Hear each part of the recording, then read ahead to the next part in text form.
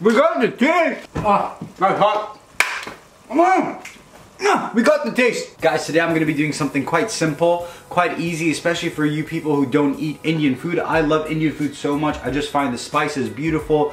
I just find that Indian food tastes the best. Usually in the Indian cuisine you have a chickpea curry, but uh, I'm gonna be incorporating mixed beans in there as well because mixed beans are just super healthy. I like to think that my curries are quite healthy as well. I think the only unhealthy thing is the oil. Everything else is like super raw, super healthy, and nutritious as well. So we're gonna be mixing mixed beans with chickpeas. So guys, let's get started. What you're gonna need first of all is onions. You're gonna need tomatoes. You're gonna need a lemon. You're gonna need ginger. You're gonna need garlic. You're gonna need red chili powder, turmeric, mustard seeds, this bad boy, this is Patak's Madras uh, spice paste and salt. I've actually already pre-chopped this because I take a really long time to chop onions. I'm not the best and my knife is pretty crap as well. So obviously very, very finely. Slice up there, slice in the middle. So I've actually used four small red onions. I love using red onions because they're just a lot more sweeter and you can use them for many things, not just for curries. You can use them for salads as well, so they're quite versatile. Four cloves of garlic, just because I absolutely love garlic and we're just gonna chop, ah! If I was just doing chickpeas or if I was just doing mixed beans, I would use uh, two cloves of garlic, but because this is double, we're doubling up. Two whole tomatoes, boom ginger. So you're just gonna do that until you get like a nice paste. And I mean, with this, it just depends on how much ginger you like in your food. I like quite a lot of ginger, man. Yeah, that's enough. Lemon zest. This is something that I just started doing quite recently. You know, I used it on one dish and I noticed a huge, huge difference. The next step is to add some oil. This is probably the most unhealthiest part of my of, of, this dish is the oil. Now what we're gonna do is we're just gonna wait for that to heat up. I've got an electrical cooker thing, so it's on like a seven at the moment. I'm actually gonna put it to a nine just to let the oil heat up a lot faster. Uh, and then once the oil is heated up and I put everything in there, I'm gonna bring it down to a seven so that it roasts quite nicely, not too hot. So, because I don't want it to burn, I just want it to like Oh, there we go. Oh no, I thought I was recording. I've put everything in here already. So it's all roasting nicely. So what I've added was a tablespoon of turmeric, uh, a tablespoon of chili powder, and a tablespoon of the Madras spice paste. Also, mustard seeds. So I kind of put these in there. I don't have like a specific measurement for this. So the best way to know how, when to stop roasting this is when the tomatoes are quite easy to just like squish. So I'm just gonna check now and see how soft these tomatoes are. Oh yeah, perfect, cool. So that's been about like, I would say a good 10 minutes roasting. All the juices from the tomato and the onions are just kind of like melting away really, really nicely. So I kind of like to just do that, crush the tomatoes a little bit more. One thing I hate is the tomato skin. Uh, I tend to peel that off, but I didn't do that today. I just guess I couldn't be bothered. So I finished roasting that for now. Uh, so what I've got going on here is I have taken the chickpeas and the mixed beans. I've removed all the, the, the, the canned water uh, and I've put some normal water in there just to soak it. So I've got this crusher. So what I'm gonna do with this, I'm pretty sure there's like a technical term for it, but this, I'm gonna crush it and make it into like a paste as much as possible, as pasty as possible because uh, as much as I like garlic, I don't like to you know, bite on like a chunk of garlic. So I'm gonna try and basically just, until my arm gets hard, I'm just gonna mash it and mash it and mash it until it becomes like a masala, I guess. So I've been doing this for like the past I would say maybe two minutes. So I'm gonna keep doing it for like another maybe three minutes as, as soft and pasty as possible. That's what we want. I have um, mashed this up as much as possible and it's actually looking exactly how I wanted to. Look at that. This is the bit now where we put the mixed beans and the chickpeas. This is my favorite part because it all comes together.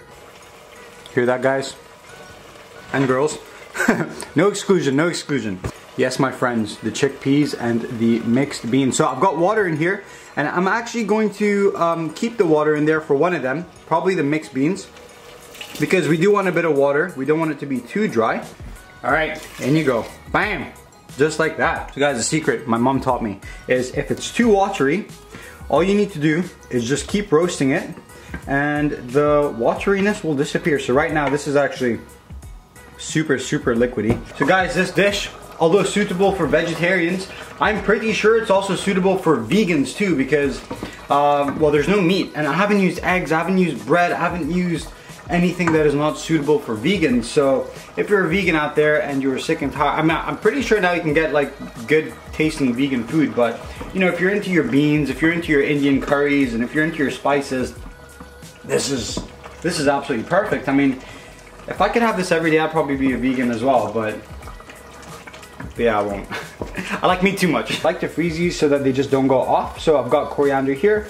I'm gonna do is, so I'm just gonna chop and chop. And this will like melt very nicely when you're, when, when we put it in and then it just roasts.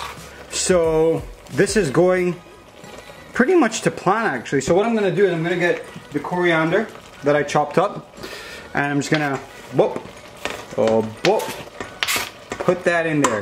Nice. Oh, that smells so good. I've roasted this for about a good 20 to 25 minutes now. And you can you can actually feel that the beans have gotten a lot more softer. It's thickened up a lot. Like, look at that. That's thickened up majorly now. That looks good. So we're gonna add, now we're gonna add some salt. I, I'm, I'm actually very, very bad for um, salt measurements. I don't like too much salt in my food, but a lot of people do. So I'm actually just gonna salt it enough to, um, I guess just for, for taste. And then if someone wants salt afterwards, they can just add it. Obligatory taste test, tortilla. Mmm. that is amazing. Where is it? I'm gonna add a bit more of this. Hit that face. Not much. Put that in there. And you're just gonna now mix it. That is perfect. That's actually, all the spices are perfect. It just needs a bit more of that. All right, people. Obligatory taste test part two. I've blown this quite a...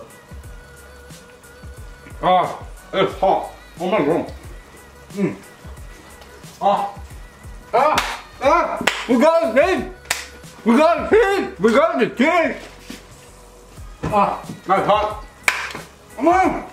Ah, we got the taste. Got some white rice in here in a cup, upside down like so, and you're gonna go bosh. Flip that round. You have to go 11 taps. Not 10, not 12, 11, otherwise you mess it up. Oh.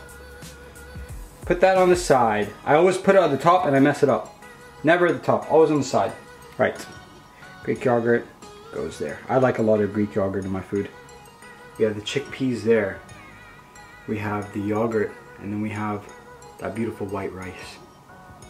Guys, that is absolutely amazing. Oh, it smells really good. It, it smells fantastic. Look at that. Oh, it's all falling. I just realized. All right, guys. First of all, let's try just the chickpeas on their own. Mmm. Mmm. that is fantastic. Yogurt by itself. Beautiful. Rice. Mmm. Nice fluffy rice. Perfectly salted.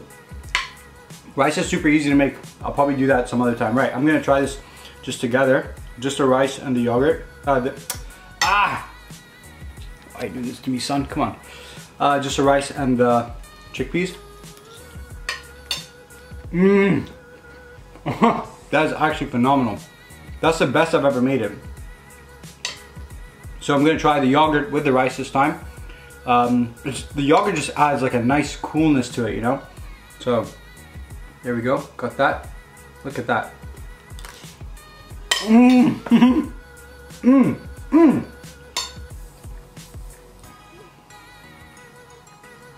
The yogurt really actually enhances the flavor. It enhances it so well. Add some more yogurt, some more rice. Like so. I'm actually super proud of myself. I've cooked this a million times, but every time it just is awesome. I just get super happy. Mmm. That is great. That is actually great. More, more, more, more. Mmm. That yogurt really helps a lot. Guys, that was so quick to make. Super healthy as well. Like I said, I think the only unhealthy thing in that chickpea dish is the oil. So if you have like another alternate al alternative for, for vegetable oil, use it. I actually prefer, I, I don't mind using this. I don't really care. Um, but yeah, guys, that is it for me. That is what I call my chickpea and mixed bean curry. I'm gonna put the, the, the ingredients and everything below as well, like the instructions and all that kind of stuff. So I hope you watch, I hope you enjoy this. I'm gonna make some more. I'm gonna do a lot of cooking uh, episodes because I just enjoy doing them. They're a lot of fun because I cook a lot, so it keeps me busy while I'm cooking as well, you know? But anyways, thanks for watching. Peace!